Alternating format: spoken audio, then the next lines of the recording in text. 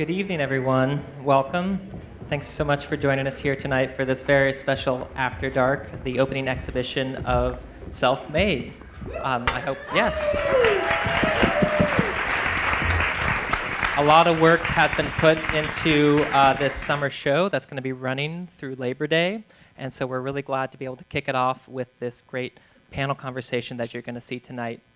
My name is Sam Sharkland, and I'm part of the programming team that helps put together these After Darks. Of course, I'm not the only orchestrator and conspirator in putting this together, but just the one who gets to be the face uh, of this tonight.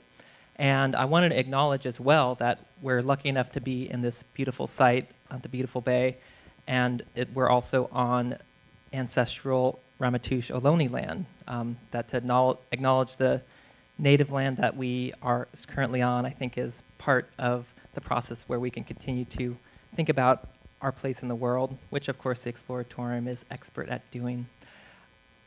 Tonight's panel is filled with some incredible guests. We have a lot of thinkers around the exhibition. We have a writer, um, you'll get introduced to them in just a moment. But again, the intention of this exhibition as a whole is to start the process of conversations and discovery around this big, big, big idea of identity. Um, identity is pervasive. It, it um, is part of our, all of our lives. Sometimes we feel our identity more than others. In the exhibition, you'll find lots of ways to kind of experience your own identity. But part of that acknowledgement that it's a big topic, we realize that the conversations need to continue. So this panel is one of those places where we're going to be able to start to unpack some of the ideas behind the exhibition. Um, and as well, we're continuing our public programs throughout the summer uh, in relation to identity. So this is the first of some After Darks related to it. Next week we have the theme is Mirror Mirror. The following week, hashtag selfie. The following week, uh, You Are What You Eat. Um, and self-styled.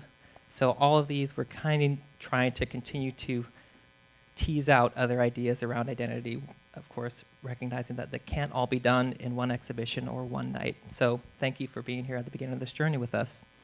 To get a couple of housekeeping things out of the way, um, if you need to exit, we have an emergency exit there. That's will take you outside the museum and in the back where you came in. Um, there is a restroom in the center of the museum as well where you entered if you need that. And please, of course, if you have any mobile devices or electronics, that should be uh, silenced uh, at this point. Otherwise, I'm happy to start to introduce the panel. Um, we're lucky enough to be in partnership with the New York Times, who brought us the perfect person to kind of start moderating uh, this panel. Walter Thompson Hernandez is a multimedia reporter based in LA, and a lot of his stories are covering emerging subcultures. So, kind of there on the ground floor where we see these identities take form and flourish um, en masse. So, we're very grateful that he's here to kind of kick off the panel. And without further ado, welcome Walter Thompson Hernandez. Hello. Thank you so much for that, in, in, uh, for that introduction. I really appreciate it. And um, I want to thank everyone for joining us here tonight. Um, we have a really great audience, and is it packed to capacity? I think I, I see people standing up. That's always a good sign, right? um, so we um, are really excited about this panel. I uh what's going on, man? It's over, right? Are we done? Um,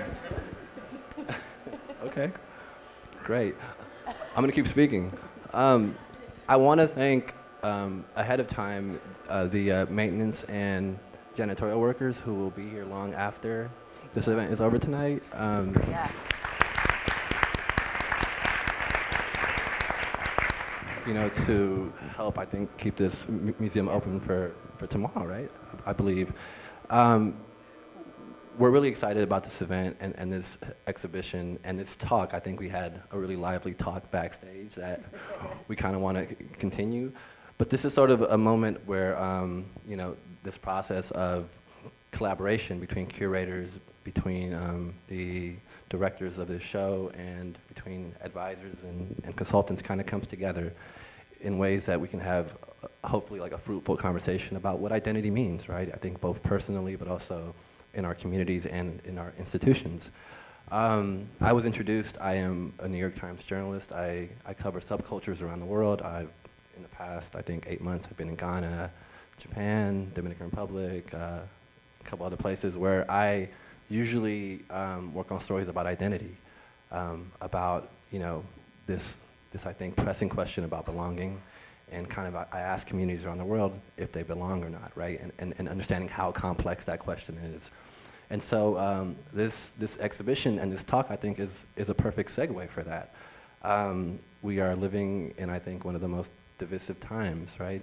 Regardless of political leanings, I think we can all ag agree with that. And I think um, our panel tonight and the people next to me are experts in their field, and they've each sort of contributed to conversations around identity and really pushed that conversation forward in, ways that add to the lexicon of words, right, and, and terminologies. And so um, I want to introduce them briefly. Their, their resumes are really long and extensive. They really are. And um, so I'm just going to start uh, by talking about Ramzi Fawaz, who is a professor of English at the University of Wisconsin-Madison with an emphasis in queer and feminist theory. Uh, Jennifer Eberhardt is a social psychologist and professor of psychology at Stanford University. Uh, she was the recipient of a 2014 MacArthur Genius Grant Award, and she has a new book called, yeah, for sure, definitely clap. um, a brand new book called Biased, uh, Uncovering the Hidden Prejudice That Shapes What We See, Think, and Do. um, Ramzi's book as well. And we're also joined by uh, Melissa Alexander, who is a fixture here in, in this museum and in the city, uh, and who um, has produced numerous award-winning creative projects and exhibitions, including the award-winning exhibition Revealing Bodies. Um, and so, with that said, again, you know, you know, we're hoping this conversation can, can help us understand um, the exhibition in greater detail and, and sort of take um, I think, a step forward in, in, in, that conversation about identity. And so, with that said, um, I kind of want to start with a very broad question, and I want to start with, with Melissa, kind of thinking about why identity, and, and why now, and why the people on this stage. Well, that's no big. Uh, before I answer that question, I want to say that if you're interested in my colleagues, the custodial and janitorial workers, you can meet two of them. my colleague Jerry and Odelia both contributed to the census exhibit out there, and so find them in there because they have really great stories to tell. Um, why identity? Why now? Uh, I think you said it, Walter, when you said this is an incredibly divisive, time for us to be alive right now. Um, in this country, it seems that we we're at a place that we're all trying to make sense of, right? How did we get here? Um, I think we all need tools to understand each other, and I think that identity uh, is a lens and a mirror for where we are right now. I feel, and I think my colleagues at in the Exploratorium, especially the team that worked on the project, believe that that uh, it factors into everything that we're dealing with. We have a climate crisis. Identity is part of that. We have cultural challenges.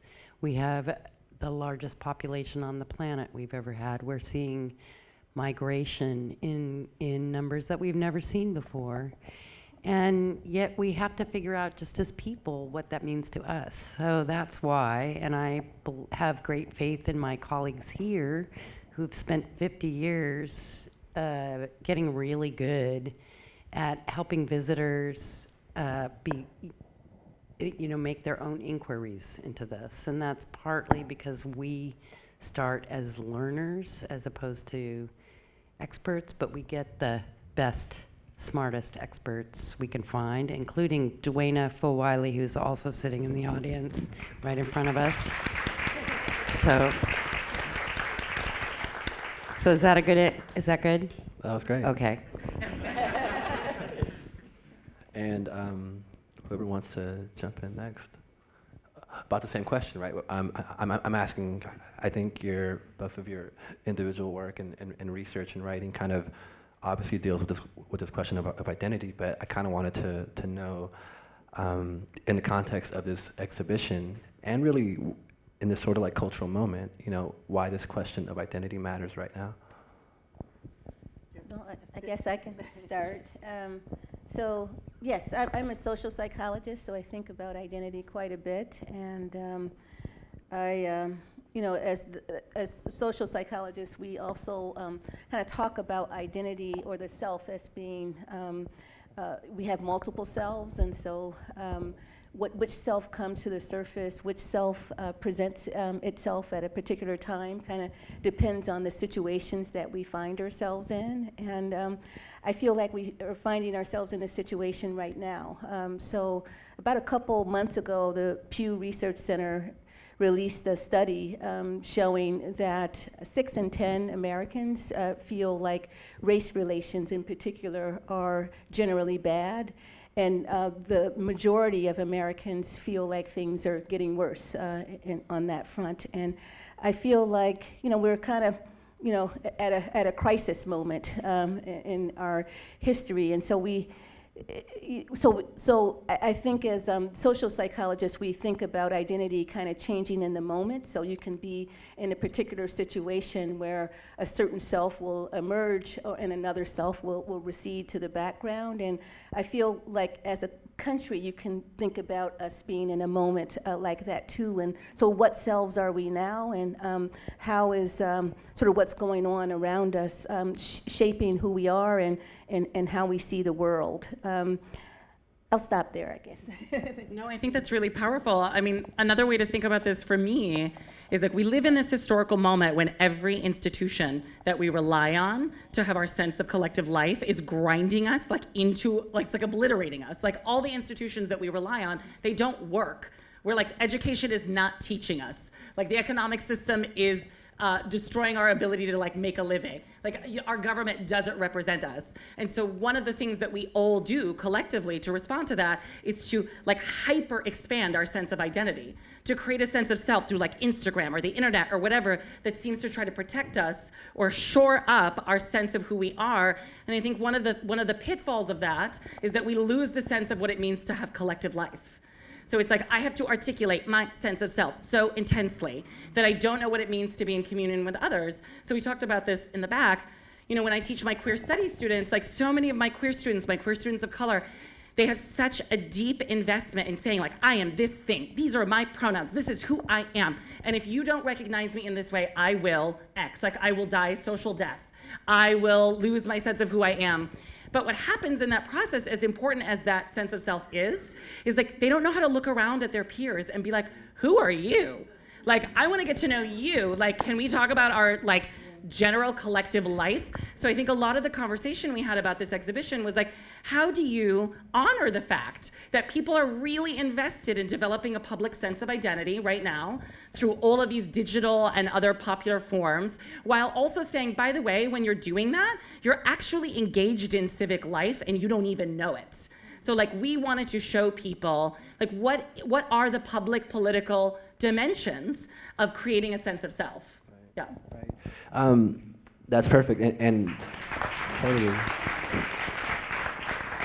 One thing that the exhibition outside kind of like uh, delves into is, you know, this like extremely dense glossary of, of, of words and like terminology that, that, we now have access to, right? I think as, as a society. And I think that's like partly generational, where I think, you know, if, if you're a young person or student these days, you have access and time and privilege to, you know, to think about your identity in ways that maybe our parents and grandparents did not, right?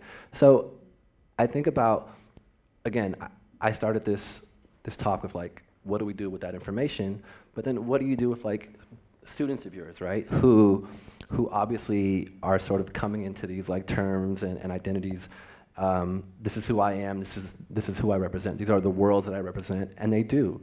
Um, how fruitful is it to, to really think about, you know, uh, themselves in that way without thinking about the other, right?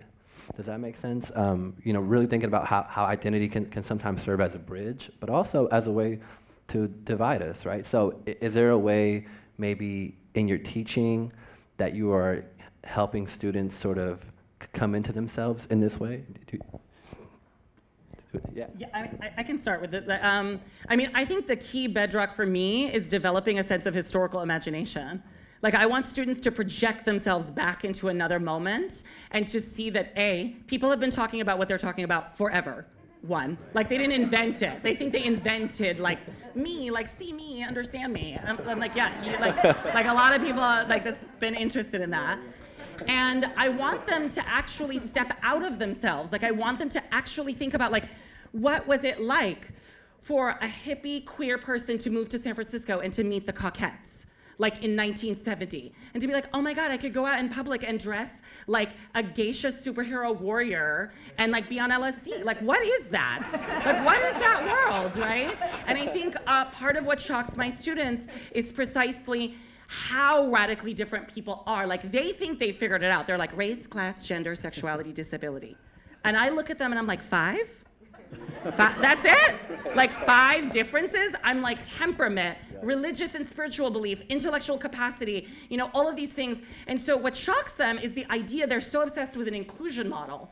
Like we want to include everybody and everybody's equal and I'm like everybody is not equal. Like everybody is different and that's actually valuable. Like you're not not everybody in this room is as smart as everybody else. Not everybody is as talented. And that's not a bad thing right? And so part of what I try to do is to show them that like they have the creative capacity to imaginatively leap the distance from themselves to other people who existed at different historical moments.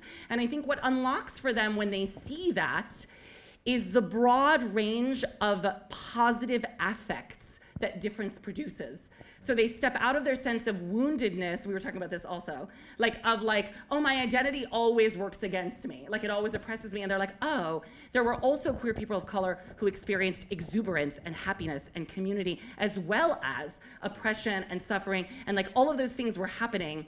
And I'm capable of engaging that entire sensorium right? And that's part of what I do is I actually just bombard them with stuff they've never seen popular culture and movies, you know, and, and I make them read stuff and they're just, they're constantly amazed. And that seems so simple as just like exposure to other worlds. Right. Absolutely. Did you want to add to that, Jennifer? it's kind of hard to add to that. well, um, so, so, so it's clear, right, that I think so much of our identities are not only how we perceive ourselves, but how we're perceived in the world, right, and, and, and in society. And I think so much of your work kind of deals with this idea of bias, right, and how I think whether it's melanin, whether it's pigment, whether it's like bone structure, whatever it is, um, there usually that comes with like a certain like classification in our world and, and, and meaning and, and, and, and different reality, right? right. Um, your work your book biased and, and, and maybe how you consulted here earlier in the earlier stages of, of this exhibition um, really kind of we see that in, in, in each of the, uh, the, the uh, pieces here. Is, is there something that you think about like, like how we're choosing to look at one another right? And, and this idea of, of, of bias that you've seen maybe change like in the past like five ten years and maybe how your research has evolved and how that question has evolved for you? Yeah, so um, I think um, people use the term bias in, in different ways. So um, there's a kind of unconscious or sort of implicit bias that I um, have focused a, a, lot of my uh, work on, and that's the it's a kind of bias. It's so basically it's the it's beliefs and the feelings that we have about social groups that can influence our decision making and our actions even when we're not aware of it. And so um, it's not about uh, a, a, moral issue or, or being a, a, good or bad person, and it's not about uh, intentionality. Um, uh, you can be motivated to um, do the right thing and be good, but, but then still act in ways that um, uh, could be infected uh, by bias. And so um, I think uh, oftentimes when people think about bias, they're thinking about like old fashioned racists and they're thinking about people burning crosses, they're thinking about um, you know, people who hate, um, and um, you don't have to be a hater necessarily to, to have this bias. And so uh, that's what I wrote the book about. It's, it's what I teach about um, as well. And I, it's, um, yeah, it's one of those things that, especially now, it's, uh, it's a difficult subject to talk about. And um, you know, bi bias is one of those things too, where just like the self, right, that um, it's conditional, so it can kind of change across different situations. And so, just because we're vulnerable to, and I believe we're all vulnerable to this unconscious or this implicit bias, doesn't mean that um, it's always you know something that's activated. Um, it doesn't mean that we're always going to uh, behave in ways that that that show um, that bias. And so um, the key is figuring out sort of what the situations are, what the conditions are um, that um, you know. Uh, trigger it or give rise to it, and then to try to you know, to, to, to be mindful of that. Uh, and, and I think being mindful of that, you're also being mindful of the harm that can come from bias because even though, again, you don't need to be a bad person, you don't need to intend it, but um, you know, whether it's implicit bias or this explicit bias, it can all still have um, this like negative consequences. It can all do harm, and so so that's why um, that's why you want to be that's why you want to be mindful of it. And I think um, in terms of its connection to the exhibit here, um, we're thinking about sort of self in these same ways, right? That you can show up as a different person, as a different self, depending on the situation. And, you know, sort of some situations call for, you know, um, you know, you have all these all these different selves that you can sort of bring out. And I feel like bias is in that same way where you um, you know, there are certain situations that can uh, tamp it down, and then other situations that can give rise to it. And when it gives rise to it, you're giving rise to a, you know, to a, to a different, an aspect of self, but it's, it's still an aspect of, of self. Absolutely. Um, Melissa, in, in, in sort of designing the framework for this show and, and an exhibition, and even when, when thinking about, I think, um, our own biases, right, and, and our own sort of need to, to question how we walk through the world and, and, and how we see the world, was there something different about putting the show together that, that maybe kind of like forced each of the curators or people involved with the show to, to maybe question your own biases about, about how you operate in the world? Oh, yeah. Uh, I've been trying to think if I should tell the story or not. Um, you should, right? tell the story. okay. Well, so, so uh, when I try to explain the show and my, you know, my drive to do it, I've sort of figured that there's these two optical illusions that we have here in the museum. One is the old woman, young lady, and one is the faces bases. Yeah. And you know, when you start to see those, you either sometimes see the old woman or the young lady, or you see the faces or vases. But once you see those, you see them both, you can't unsee them, right? And I think initial inspirations, the initial project was seeded by learning from my colleague who's the head of living systems here about um, the HeLa cells, which you'll find out in the exhibit in the story of Henrietta Lacks, which captured my imagination. Uh, but then about five years ago, I put a, should I tell this story? Okay. you should. Uh, I told you this story. This is kind of how I got these folks, but um, I put a sculpture out in front of the museum that was incredibly popular. It was, it was uh, done originally at Burning Man by a very talented pair of artists.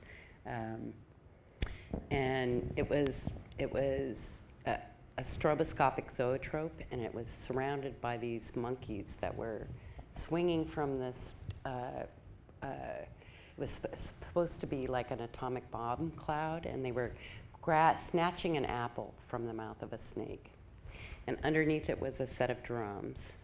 Um, and one of my colleagues expressed concern that, that uh, uh, people of color would feel that it was referencing them.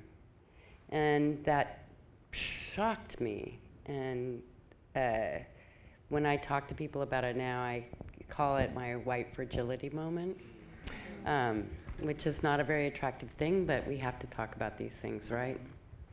So, uh, in trying to understand what she was saying to me, I started to do a bunch of research, and that's how I found Jennifer's work, which was which went completely different places, right? But but helped me make sense of what I why I was the way that I was, mm. right?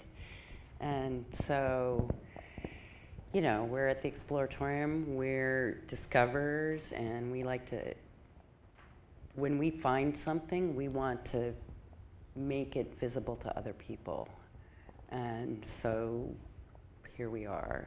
With Ramzi, I'll just say it was this expansive idea of the ways that popular culture works out these things when some of higher culture is not noticing. And then high culture has always taken the art forms of popular mm-hmm. culture and then elevated them, mm-hmm. right, and made them their own. That's a, if you look at European history, that's kind of a thing that happens. So I stole him for us. And so we, ha- I, we had a charrette, which is an architectural term, but to kick off the project with my team and a bunch of really smart people that we put in a room with us. And here we are, here they are. Yeah. what were you going to say, Jennifer? Oh, you, you just, when you were talking, you triggered something for me, which is um, there's a quote by James Baldwin um, who said, um, A journey is called that because you cannot know what you will do with what you find or what you find will do to you. And so I was thinking about that as you were talking and telling the story. Yeah, that's a great. There's a great. Um, can I can I read this? Of course, yeah. There's a great. Oh, sorry, I suck at holding a microscope. microphone. I either pop my peas or you know I I'm not very good at this. But uh, I was thinking about what. Uh, that's all that counts. But how can I next to next to her? but anyway, let's see. Uh, I feel like so. This is a path. Just a quick thing from the. You should still read this book. I'm going to read you a piece from the end. But for me, this sort of says it all for me about the all the process that the team has kind of gone through because we had to do this inside of our museum and have conversations with our colleagues as well as each other. Um, and uh, so, but I feel like this is the thing right here. So Jennifer says in the chapter, the bottom line of her new book on bias, institutional values, norms, and practices both dictate and reflect the cultural forces that shape society. They can be a resonant force for the sorts of social change that help derail bias, but it won't be simple, cheap, or without stumbles and scorn. And so that's like, that's what the work is about.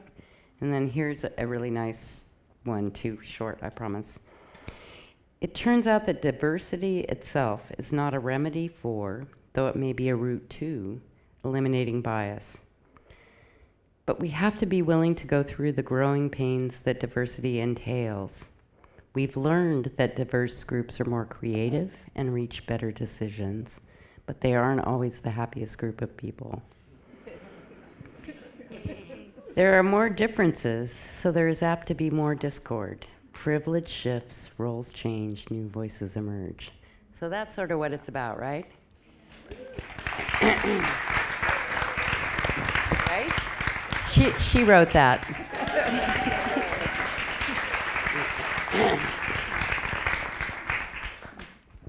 Did you want to add anything to your own words, Jennifer? Nothing. You're good. Okay, cool. Um, I think what you said is is is, is very important, Melissa. I, I think you know this is the time to question, you know, the institutions that, that we exist in, um, to question whiteness, right? To, to question all these different things that have existed for, for generations without being questioned, right? And I think um, we're all better served for that, right? Um, to segue out of that, uh, last February, I did a, a story about uh, a certain cosplay community in Los Angeles, um, all black cosplayers, who were sort of using the Black Panther film as a way to, to, to really challenge, you know, what cosplay looks like, right? I think historically it, it was like a very white um, sort of experience, and you, you, know, you had folks who, who were using the film as a way to insert themselves, right? And that got me thinking about performance. It got me thinking about comic books, right, in ways that I'd never really thought of before. And I, and, you know, the the part of the show that you curated outside was, was, was really incredible. You know, the part about drag, the part about cosplay, it, it, was, it was all sort of, I think, related to this idea of about the role of imagination, right, in, in, in creating worlds that we both escape from and that we want to be part of, right? And, and I think um, I'd love for you to maybe expand on the parts that you curated outside and, and, and just walk us through, talk, talk us yeah, through them. Um, I actually want to link it to, to, some of what you wrote. I think part of what is so powerful about what you, that last quote that you said, that, that, you, that you read, is like, diversity is not a value. It's a description of a human fact. Yeah. Like I find it so confounding that people talk about diversity like it's a value of our community that we're doing, and I'm just like, diversity is the fact of like human life. Like everybody is different from everybody else. Like the famous queer the- theorist Eve Sedgwick has this like very classic line. She says like her first axiom for thinking is always like people are different from one another. Like you just start from that bedrock. And something that I talk about in my work is that I use the word heterogeneity, uh, which we often uh, as a synonym for diversity, but I actually use it to describe how people negotiate their differences, which is what I think really matters. Mm-hmm. Like, what really matters is what people do with their differences and the context in which um, they have conversations about them. And we know this in popular culture, right? Because popular culture is one of the places we encounter people who are not like us at a distance, imaginatively. But it doesn't do everything. Like, if it did, then reading African American novels would make everybody not racist. Like, we would all be not racist now because like we've all read Toni Morrison, right? But like that's not how that works. Like it isn't a one-to-one relationship. But what I do think that popular culture does is it opens this lever. It's like the first it's the first step to that process that someone might become not racist, not homophobic, is the opening up of their affective life to difference, to being affectively open to otherness and difference. And that often starts with an unexpected and surprising encounter with culture. Like you see something and you're like, oh my, like you see Beyonce's homecoming and you're like, what is, who is this person? Like who's like, I know so many of my students watch that and we're like, I literally, my neurons have been shifted. Like I've seen, right? That doesn't do all the work, but that starts the work. And then there has to be a context for conversation in which that then becomes politicized and then becomes part of a, you know, something larger. So in my thinking about curating the popular culture section of the uh, exhibition, I really wanted to think about A, forms of popular culture that people like obsess over. Things that we attach so, like we put so much investment in, so people become hyper fans of comics. People love video games and they spend decades, you know, playing them. But what fascinated me about those particular things is that we invest so much and we think it's all about us, but what we are doing in every one of those forms of popular culture is being other people. Like, that's what I find so interesting. And we forget that in the process. We're like, I'm identifying with the X Men because that's about me. Or like, I'm playing, you know, The Legend of Zelda because I, that, that makes me, like, I am this sword wielding elf. But really, what it is is like, you're not you. Like you're doing something else. And so what I wanted to do with the exhibition, with the, uh, the parts of the exhibit that I curated was to say, look at these things that help you have a sense of self, but see how at every turn you are you because you're always playing not you. And that is exactly what connects you to other people. Like that's one form of negotiating difference is being able to step out of yourself. And that's such a powerful skill. Like that's something you can train people to see and do. And so I wanted to, I, I also just wanted people to have fun. I wanted to people to see things that they love in a new way. Yeah. I also wonder, like, if what you just said, I think, applies to, to people who might identify with like historically marginalized communities, right? And this whole process of like not seeing yourself in, in, in, in popular culture and society, um, and having to see yourself in this like imaginative, like fictive world, right? And like kind of how that adds another layer of, of complexity, right? Because like then this like fictive space becomes the only space where you, you can essentially be something that's not like white or like hetero, right? Or, or, or, Yeah. or, or like a standard of society that we're all supposed to adhere to, right? Mm-hmm.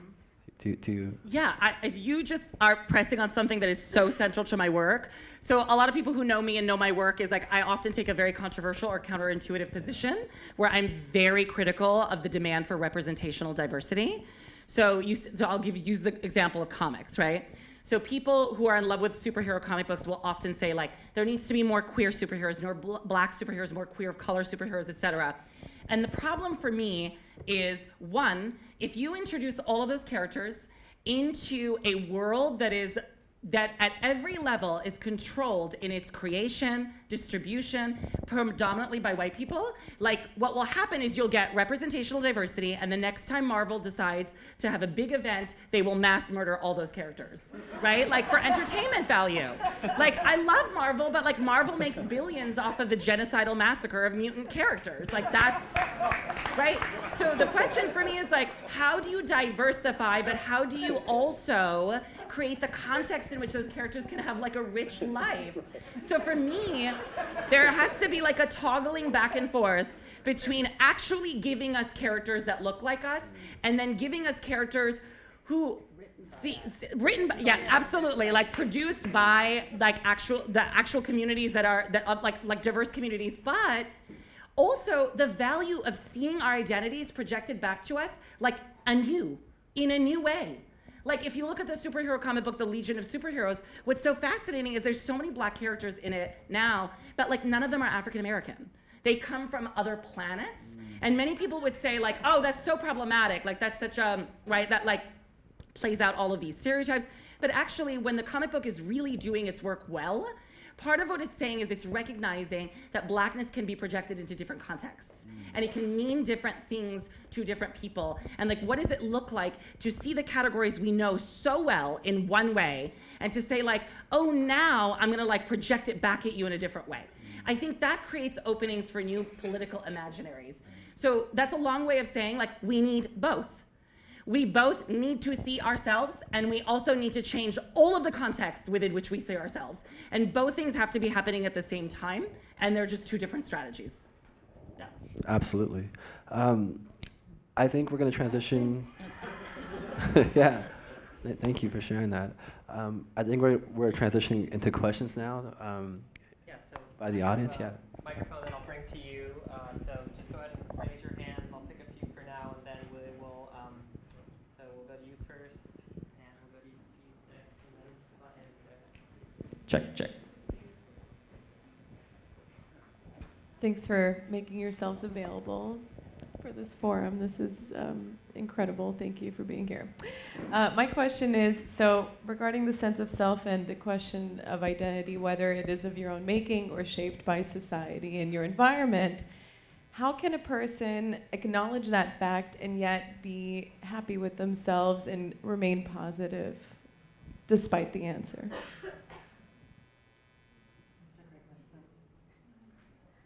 Is it? Well, I mean, I think it, it speaks to the, um, the importance of um, shaping the environment, right? So um, if you shape, as you shape the environment, you shape the self. And so um, it just m- means that you have to put um, a lot of, uh, you know, care into what those environments are. You know, I feel like a lot of the, the biases that we have um, come from, you know, the disparities that we see around us, and, and that's the environment we're in, and, and, and those um, disparities start to get processed in a way where we're automatically associating certain groups, uh, social, whole social groups with um, specific traits, and, and, and, and then that kind of goes on autopilot, and then it feels like that's, that's natural and that's normal and all of that, but a lot of that comes um, from you know, the social environment that we're immersed in, that, and that environment kind of makes its way into um, you know how our neurons are firing. It's, it's making its way into how uh, we're thinking, and, and it's making its way into who we are as, as people. And so, um, to have control over the self, you have to you know have con- some control over the social environment that that self is placed in. Uh, I, that is so right, and I'm gonna give a more like self-help answer. I feel like that's such a that's actually a rich answer that's like way smarter than what I'm about to say. But I I often tell my students who we were talking about this before, like my students who come into my class and they've taken like so many like queer and feminist studies classes and critical race studies classes, they like have figured out the world and they've read they've read about the way oppression operates and they are really devastated. Like they live in a constant state of like they're devastated because they now have a language to describe everything that is horrible. And i have to remind them i'm like a there's the institutional and the structural and then there's like you have to go get your groceries. Like you also have to live. Like and you have to go like have sex and like have intimacy and like be connected to people. And like there's a level to which like the volume has to be like brought down. To, at, at, like you have to be able to scale back and forth between the institutional and the structural and the everyday. And this is going to sound like so basic but really like i fundamentally for me like what keeps me happy amidst like knowing all of this is the capacity to turn to people who are near me and to ask for the things i need to like look at that, like even like in a one-to-one relationship, to look at people within the queer community that I'm connected to and be like, I think this is what I need right now. Like, I think I need intimacy. I think I need to be able to talk about X, Y, and Z thing. And I think my students are so often like at the macro level that they forget that they have to like the way that they're going to be nourished is through like intimate accountability between people who share love and connection. And I think they reduce a lot of their friendships to systemic analysis. So they're just like, I need all of these things, but like, you are, I've read you through this book I just read in this class. And I'm like, well, instead of doing that, like, why don't you say to that person, like, I'm really struggling with X, Y, and Z things, I need this. And I think we're living in unbearable times. Yeah. Uh, my, I mean, our students are, part of the reason our students are spinning is because they are, they, they don't know what joy looks like and I try to remind them, I'm like, joy looks like looking at somebody who is where you're at and saying, go ahead. I give you permission to go ahead. Please give me permission to also live. Right? And I think part of what we have to do is like, we, in the face of all this institutional madness, we have to actually turn to each other and be like, what do you need? Here's what I need. And I know that sounds like that sounds so like a self-help book, but I think we have to do that. You know, instead of being like, this is what I know and I'm reading you based on that. It's like, what? Who, who are you and what do you need? Right? Like. So I was gonna. I'm even. My answer is less good than either of you. um, but I would just remind you that you have an amazing capacity for learning, and you're a learner first and that you are capable of having a functional understanding of the world and figuring it out, and that that in itself is joyful, and that even with complicated problems of our humanity, we're lucky to have those problems. That uh, we're lucky to right now be the people that have the luxury to sit in a place like this and have a conversation and contemplate them. And so the, there it is. That's what I would say. We have another question here on your right. Hi, thank you. Um, so I, I'm curious, you know, we tend to talk about community as a very positive thing, and it's something that can, you know, bring us some some um, self-esteem and and people to talk to about how we're feeling.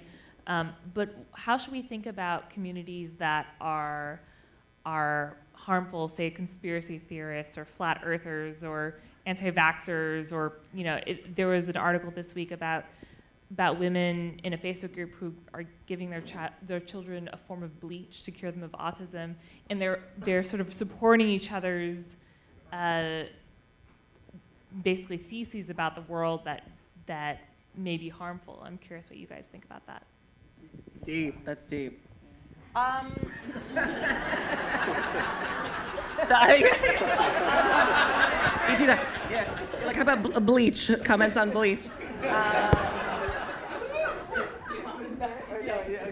um, wow. Okay.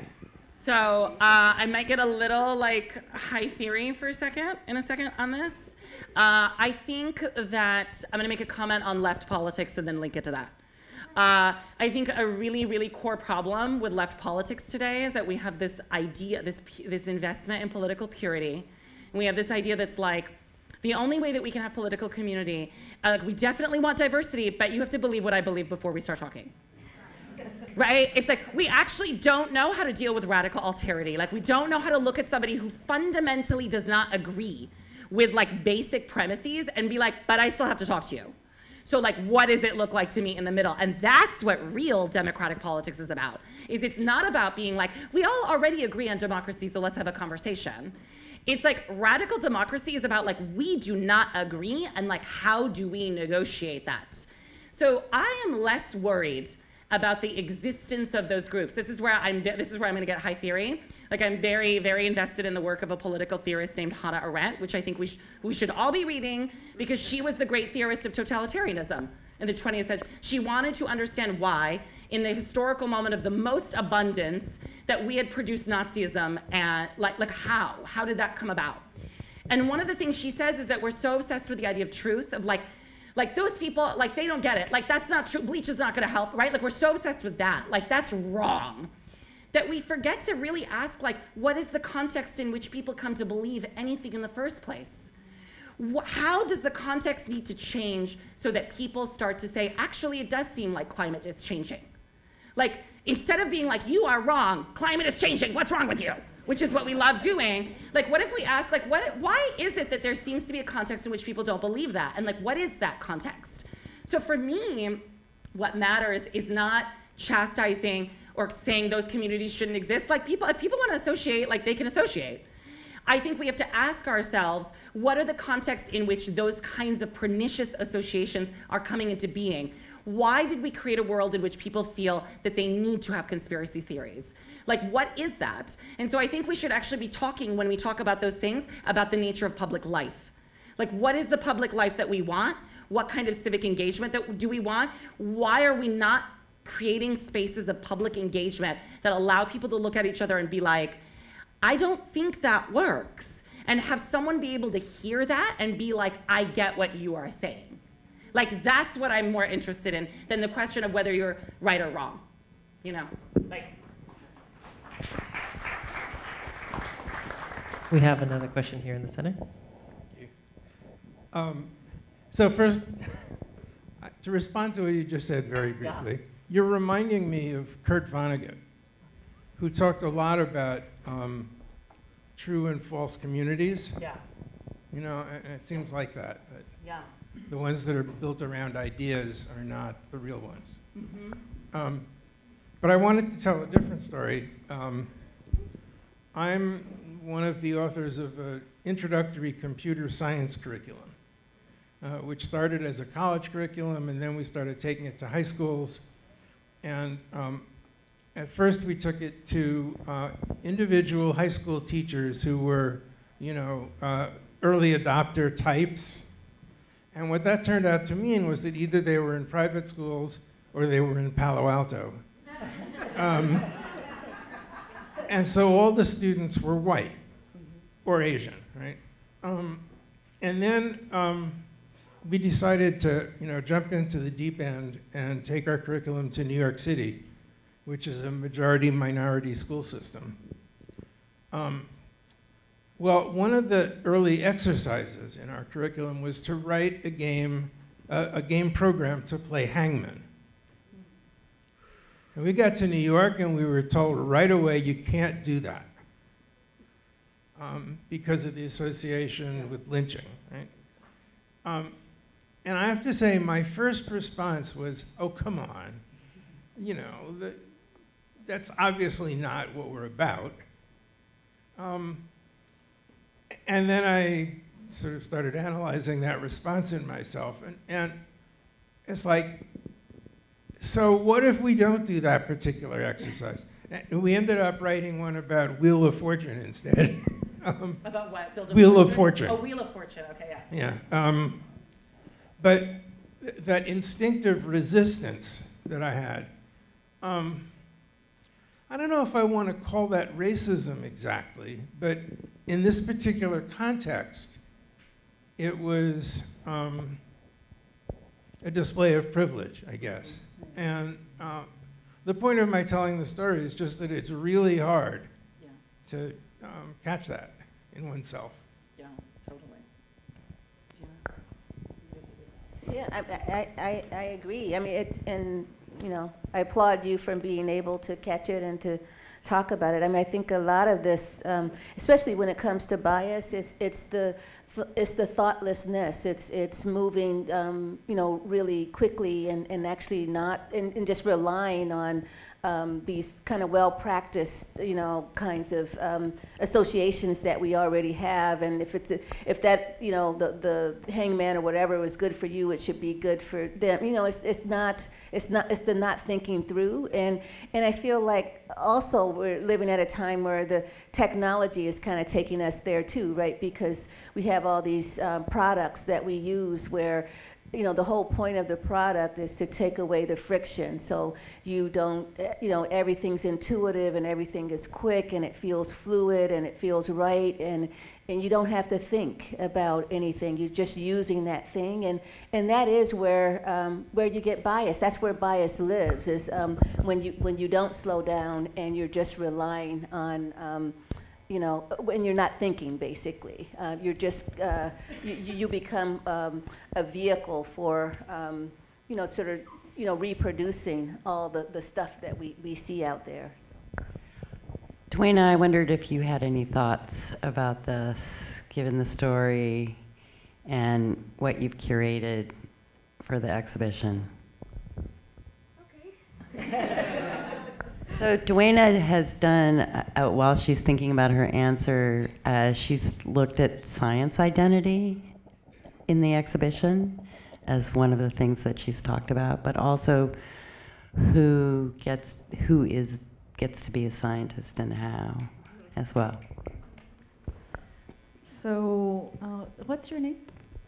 Brian. I really appreciated your story. Um, so, I mostly work with genetic scientists globally, and it's really interesting how many of our politics in here and how genetic difference is written and taught and understood. Um, in the US context, it really aligns with racial differences in the kind of big three or the big five, uh, especially when you get into products like ancestry testing. And so, on the one hand, ancestry testing um, makes users feel like they have a little bit of, uh, you know, European or a little bit of African, but and it can break up really static notions of race. But the the kind of parental populations are still pretty static in terms of that continental imagination of, you know, Linnaean racial categories, and so. Um, it's really interesting. I study geneticists as an anthropologist, so I go into their labs and treat them as tribes, and uh, you know, uh, set up my tent and observe. And in the beginning, they do have that kind of hangman moment of what's wrong.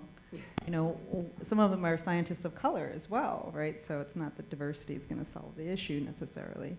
Um, and so just making through conversations and me presenting at lab meeting, you know, here's what I see in the tribe. Um, it does, you know, make them have that moment of, okay, well, why am I uh, being resistant to changing my language here or my sampling practices around the globe? And it's slow work because this is very valuable in the sense of profitable um, science for medicine, for pharmaceuticals, for identity politics, and so it's it's it's hard to dislodge those ideas. But I definitely think that having conversations and getting scientists to see the, the bias, but also their attraction to certain concepts, right? This will work, and this is our model, and moving away from that is often a personal investment that has a longer imperial and colonial history to it.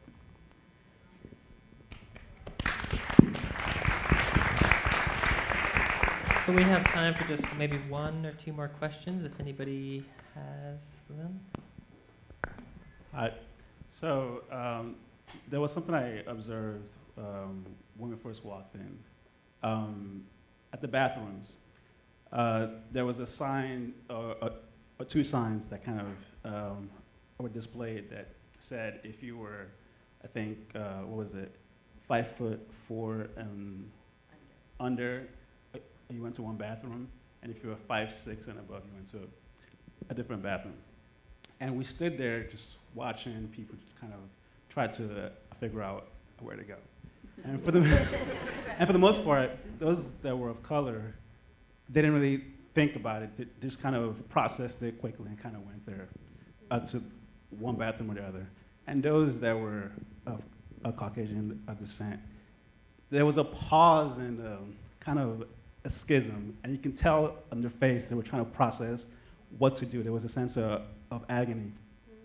And it was interesting to watch as someone of color that in this case, it was rare for them to kind of have to deal with a sense of lack of privilege in a way and have to figure out which bucket uh, they went, I mean, like, uh, which uh, a bathroom to go to. And it was just fascinating to I just watch this experiment. and as, as someone of color that wants to encourage my, you know, colleagues and friends who are a privilege, how can I in, in conversations get them to understand that this is what happens to someone like me on a daily basis, where I have to deal with, you know, my lack of privilege, but also not having a choice in determining whether I'm privileged or not. So, no. yes,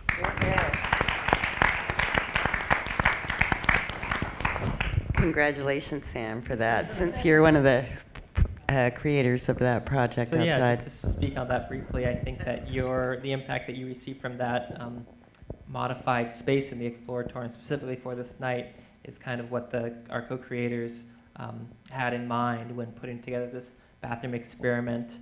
Um, just to talk about it very briefly, two colleagues, um, Schaefer Mazow and Sal Alper, did a kind of subversive, not really approved experiment in the staff bathrooms where they wanted to see what it was like to remove the gender binary from the equation.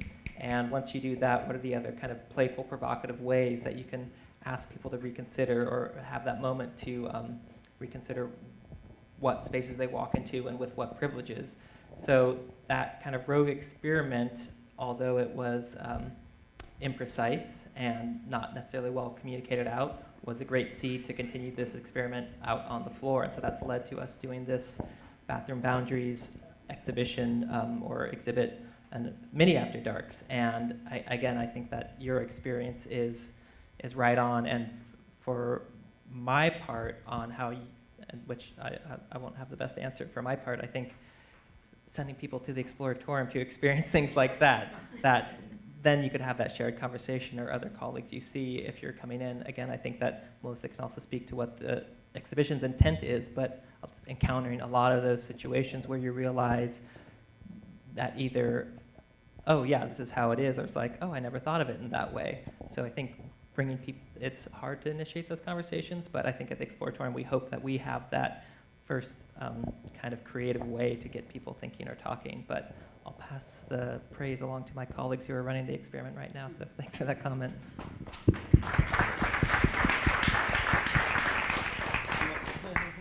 Thank, oh. We have one more question. Oh.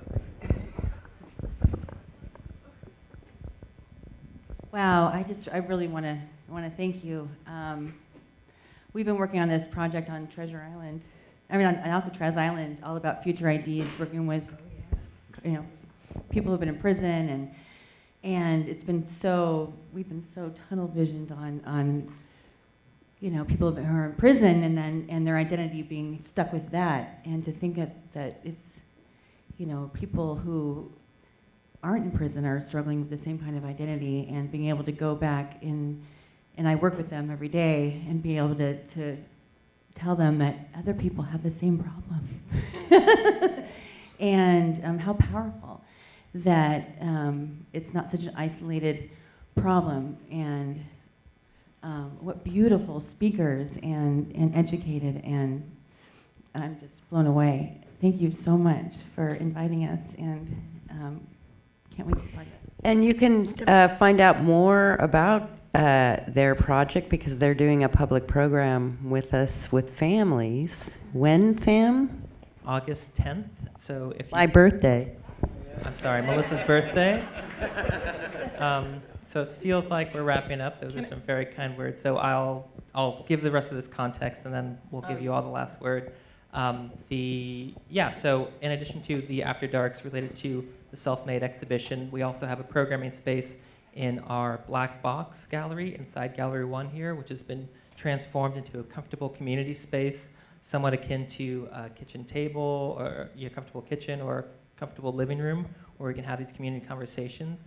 And um, we're activating it throughout the summer with different groups coming in, and Future Ideas of Alcatraz will be one of those groups um, to present. So August 10th, you can learn more about that. Um, but let's hear final thoughts from the panelists before You know, we wrap I it just up. wanted to, I didn't want to skip over the fact that you, ac- oh, you asked us a question. Oh, yes, sorry. Because you, no, uh, because I, because you, you gave like a lovely commentary on the, exhi- on, on the exhibit, so I think that we skipped over that. You were asking something that's really difficult, which is you're like, how do I get people to believe me that I actually live this experience?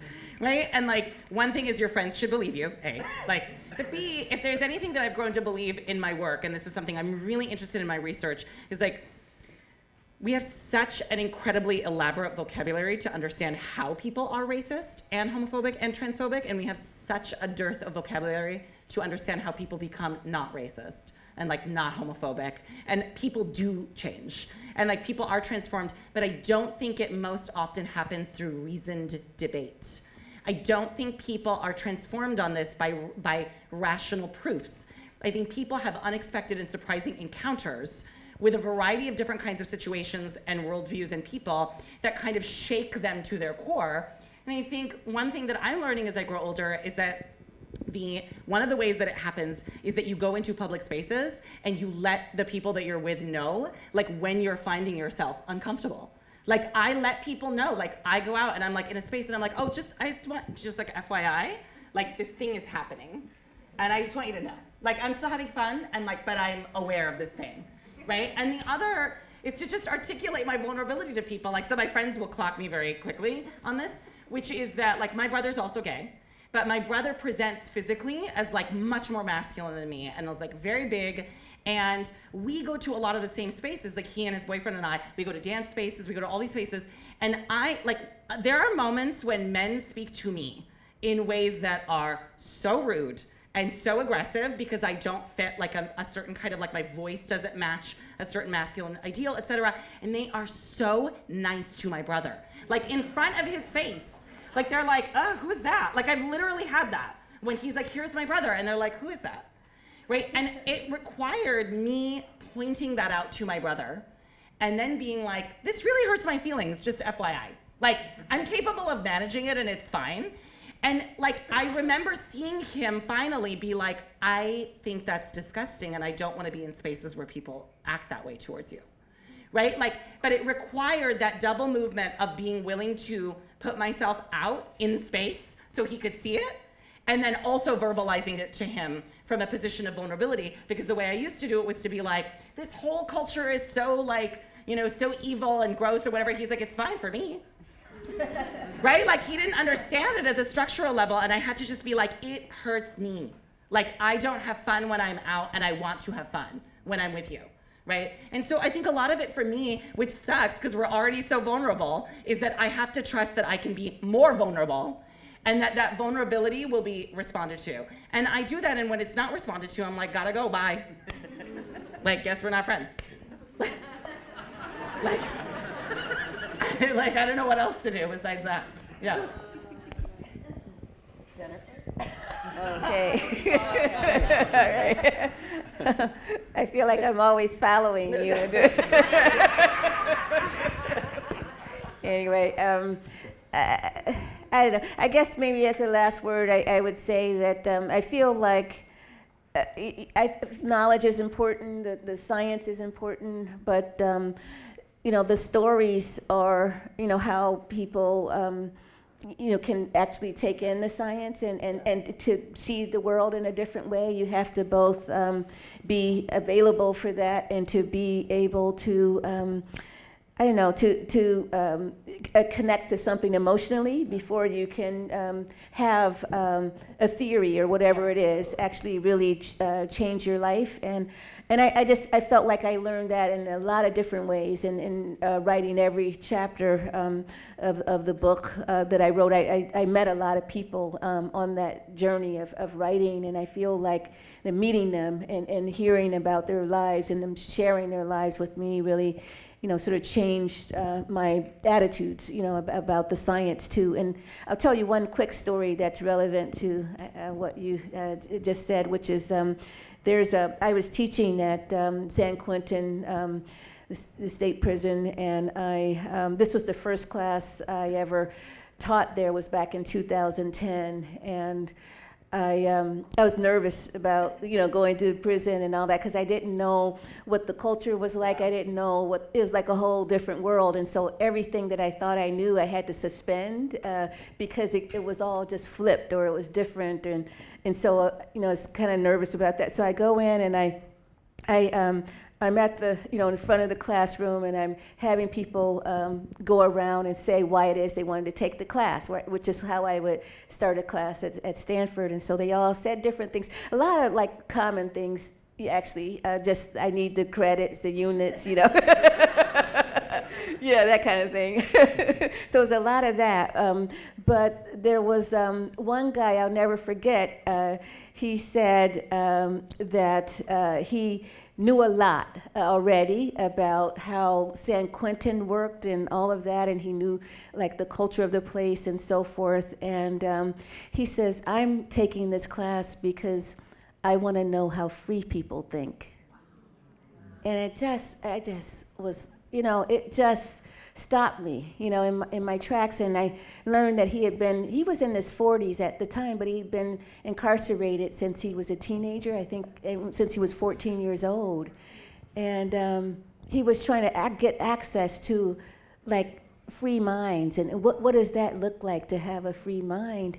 And, um, and I felt like throughout the, the course and, and sort of that I was actually there to become free too. Like I, I was, you know, there trying to also, um, you know, uh, you know, sort of put away uh, the shackles that society puts on us, and and um, trying to see different and to learn in a different way, and to, um, you know, to be able to, um, I don't know, to connect um, in a, in a different way. So thanks for that.